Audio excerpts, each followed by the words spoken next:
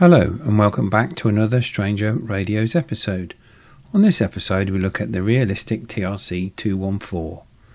I have to start by saying that if this radio looks a little bit familiar to you, it might be because you have seen it more recently on the hit Netflix TV show Stranger Things.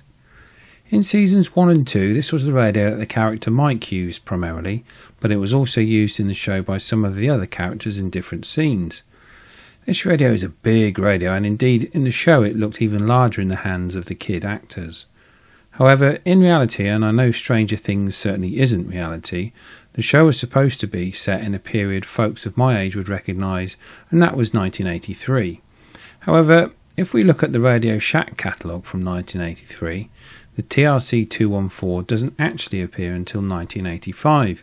However, the makers of the show are already asking the viewer to suspend reality for 40 minutes anyway, so I'm sure that most didn't notice and or would really care about such a detail. I'm sure that American viewers of the show would be able to pick out many more inaccuracies, but I suppose it's poetic license. Now, unlike some of the other realistic radios, I don't believe that a UK FM variant of this AM radio ever made it over here. I could be wrong, but I haven't seen anything that suggests it did, the show also featured the TRC 206, which I also intend to do a video on. The realistic TRC 214 was really an attempt by the company to make a middleman radio.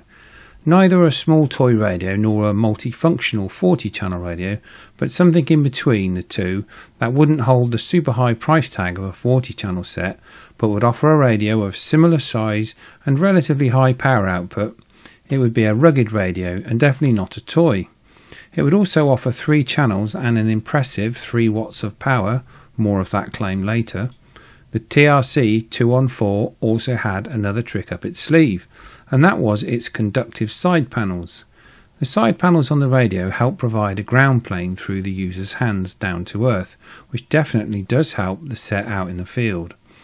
That being said, many of the promotional shots, and indeed the artwork on the box, amusingly featured the radio being operated by people with gloves on.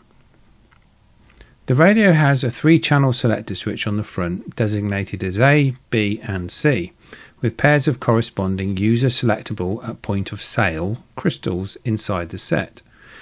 The radio also features an external antenna connector, an external power connector, and an external charge connector to charge the 10 off 1.2 volt rechargeable batteries, which the user would have to buy separately.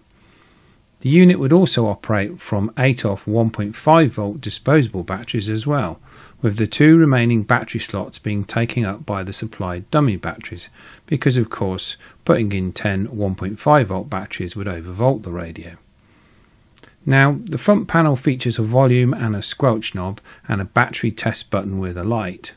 The radio came equipped as standard with, uh, with USAM channel 14 crystals factory fitted, and they offered at a price any pairing of channels out of the other 39 channels at point of purchase. Now, the claimed power of this radio, according to the manual, cover art, and the radio itself, relates to its power requirements rather than its power RF power output which is rather misleading and something you might think manufacturers would not get away with today. However, as we all know, uh, that's certainly at the budget end of the market now. This misdirection on power is still very much alive and well.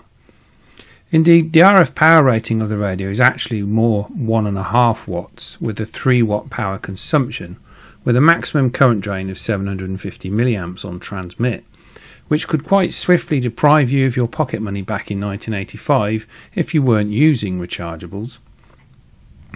On the front panel of the radio, there is also an LED modulation LED which flashes red when you speak and lights solid red at 100% modulation. The radio was used very commonly by construction companies and tradesmen at the time as it offered some great features for a reasonable price. It's probably unlikely that kids of that age of the Stranger Things characters would have actually been able to afford such a radio as the TRC 214 at the time, because it was still a relatively expensive radio and it didn't come with batteries of any kind. In the show, we also witnessed the characters using the radios, often with the antenna either completely down or at half mast, which would almost certainly have damaged the radios and or caused terrible performance. However, I have always forgiven TV shows uh, as accommodating a meter a long whip in a scene isn't really very practical. Many eBay sellers will list radios as Stranger Things radios, which just aren't, so be careful. Also, variants of the show of the radio shown in the show were sold in Canada but were less powerful at half the power. So if you are a stickler for cosplay accuracy, then just watch what you're buying. The radios appear from time to time on eBay, sometimes in pairs. If you're in the UK and you want to sh- uh, to ship one from the States, prepare to pay between 50 and up to 100 pounds for a good one. In a good box with the manual, you will pay a lot more though. Um, there is no doubt that the success of the show has pushed prices up of this radio and the 206. If you're looking uh, for the radios to use in any practical sense, check with the seller if they know what crystals are fitted, as some sellers take them out and sell them on their own as they are sought after and are expensive to add at a later date. But what is of most importance is to ask the seller to show you a photo of the antenna fully extended, as getting a replacement antenna at a reasonable cost is very expensive. And of course, if you are not in the U- US, please check if you can legally use these radios in your country of origin. If you are in the UK, you can le- legally use these radios with no license, and I do know that some UK cosplayers do use them at meet and greet shows. I've always loved these large format walkie talkies ever since I was a little kid, so I am super pleased that other people also find them a really cool throwback to their childhoods, although in practice many of us at the time were very likely using much cheaper low quality sets. Radio Shack in the UK ceased trading in 1999, but the US store is still active, and whilst the radio ceased production in the 1980s, they do have some new realistic TRC merchandise available t shirts, and mobile phone cases. Sadly, they don't ship these items to the UK directly, but if you have a friend or a relative in the US, you can get a very cool shirt. In reality, and as a practical radio these days, these sets are simply never going to appeal to anyone who has seen a modern handheld CB or PMR radio. They are, however, a great reminder of a time long, long ago when technology was taking off so fast a vivid, colourful time of optimism and great hope. And I think that, in combination with TV shows and a rose tinted glow, is the reason why people still like to hold on to a slice of the past. Modern PMR radios offer similar ranges in a cheap, tiny form factor with incredible battery life. There might well be people still using radios like this uh, day in, day out, but I'm sure that they would be born out of a love for the damn things rather than any other reason. It's just three screws and the lid of the radio pops off the back there with just a couple of interconnecting wires holding the lid to the main board for the battery power there. Um, so quite a compact design for the time. Uh, I was really pleased to see that my radio came with a full set of crystals there and appears from outward looks to be nice and clean and tidy with no screwdriver king uh, markings anywhere. In fact, it doesn't look like any of the settings or the controls have been fiddled with in any way, which is good. Um, so um, once I've got my other set, I'll do another video where we tune these guys up. And these are the uh, little um, battery spacers that I showed you there. Now, if you do buy one of these and they don't come with any, you can pick these up off of eBay should you need them and uh, I shan't be running this for any length of time on these batteries but just for a test. So let's turn it on and uh, see what this old radio sounds like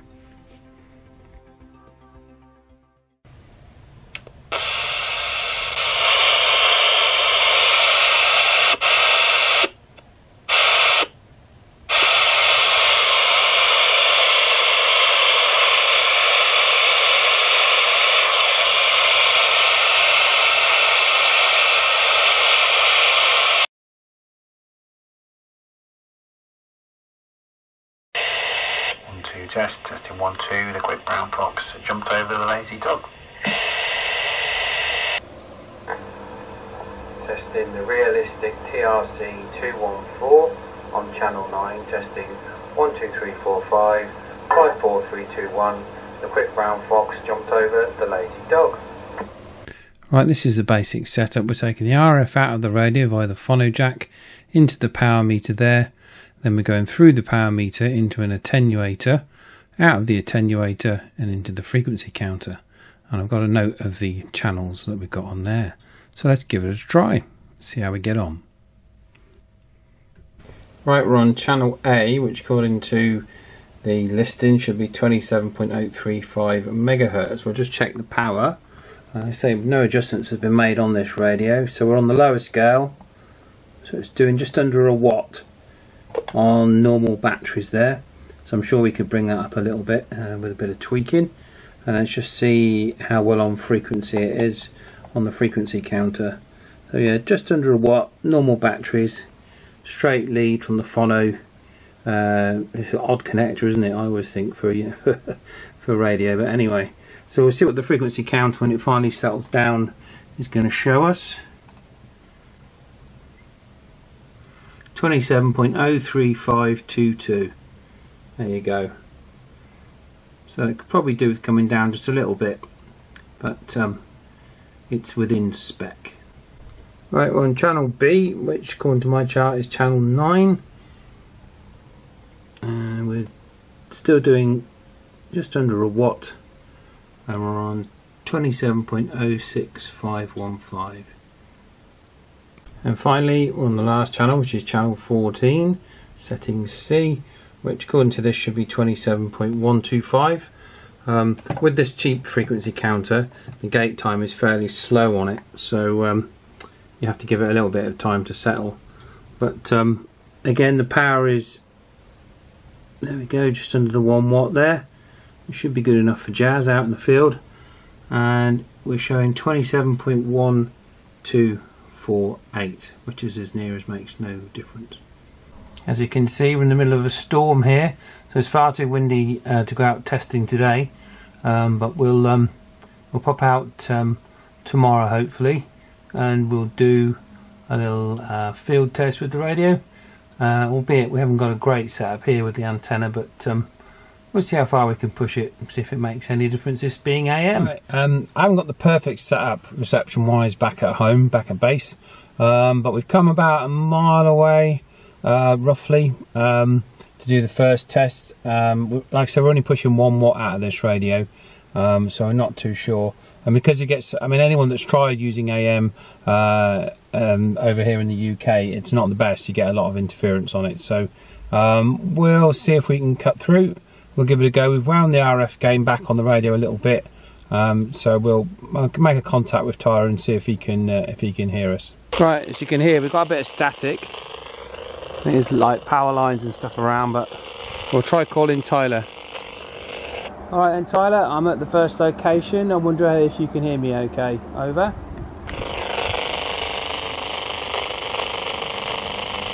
I can't hear you very well. I'll try again. Is that any better? I've just changed positions. Can you hear me now? I heard you a bit better, but still not very well. Okay, that's fine. If you want to stop recording at the other, um, uh, stop recording on the computer, then I'll go to a, a different location. Okay.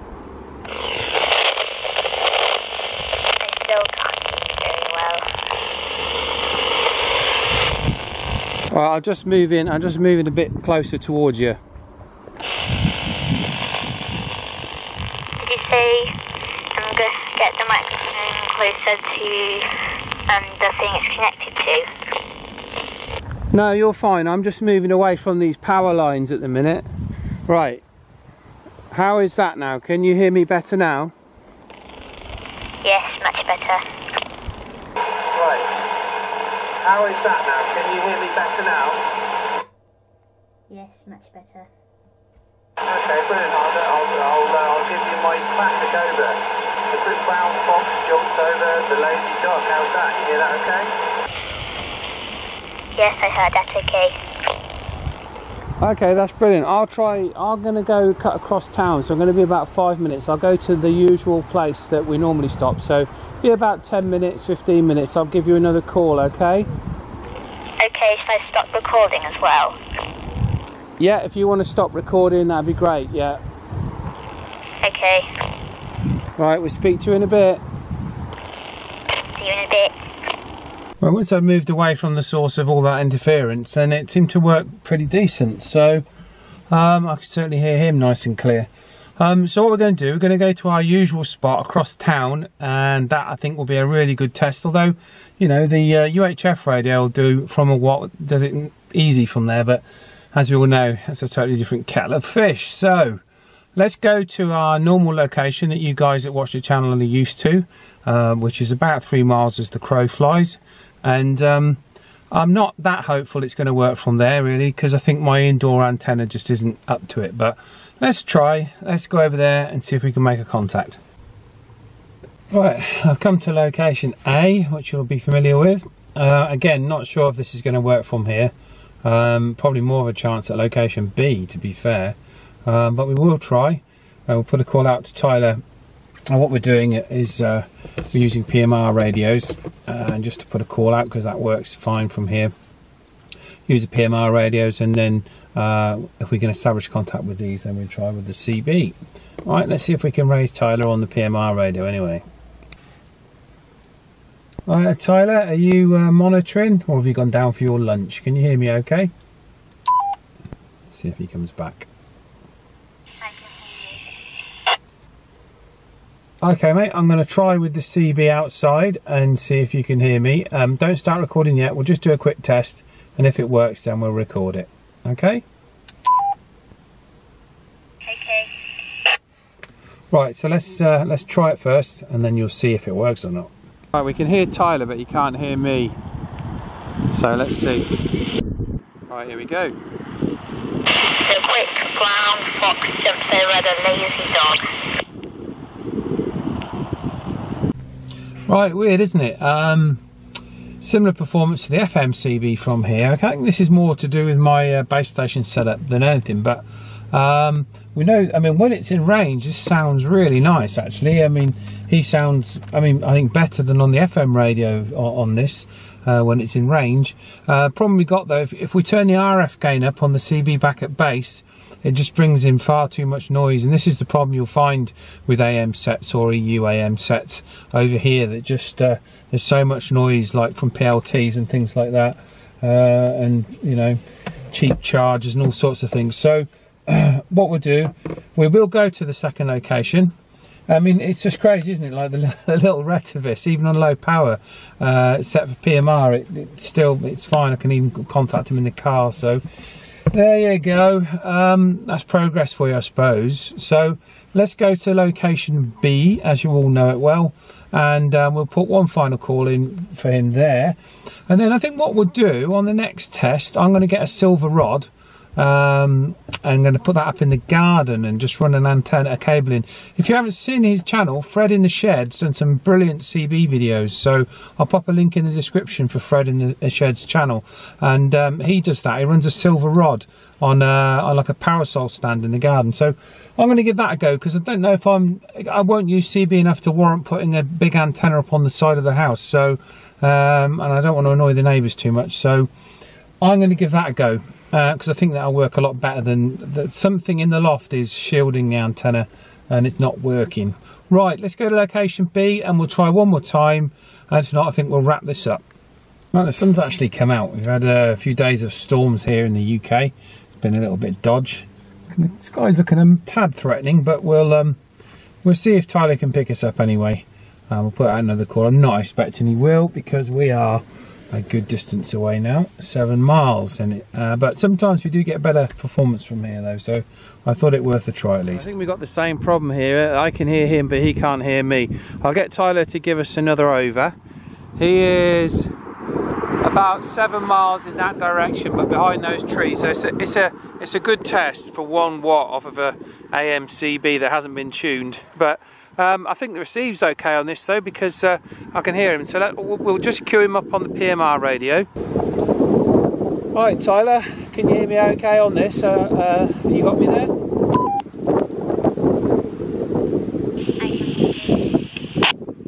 Yeah, speak a bit louder into that, mate, when you're talking. Just give me another over. I